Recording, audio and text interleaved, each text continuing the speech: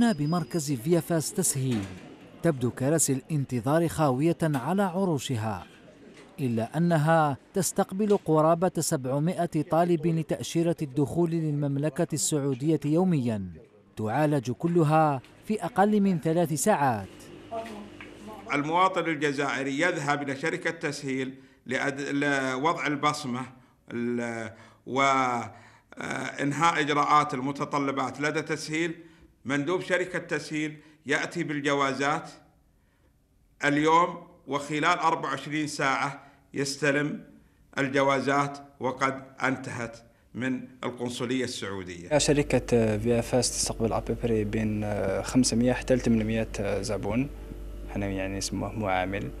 أه رانا نجوزوهم à peu près même pas بالك ما نكملوش حتى للزوج ولا الوحدة يكونوا جازوا في 800 العملية كلها لا تتطلب سوى 15 دقيقة. تتم وفقا لنظام محكم في أحد المكاتب لترفع البصمات والصور الخاصة بطالب التأشيرة. ويتم تسليمه وصل استلام. ناخذ la photo تاع la personne les empreintes تاعها la droite la gauche les deux pouces c'est tout avec le paiement c'est tout البصمة هي حيعرف directement منين أنا جاي واسمو اسمو numéro passeport تاعو منين أنا جاي.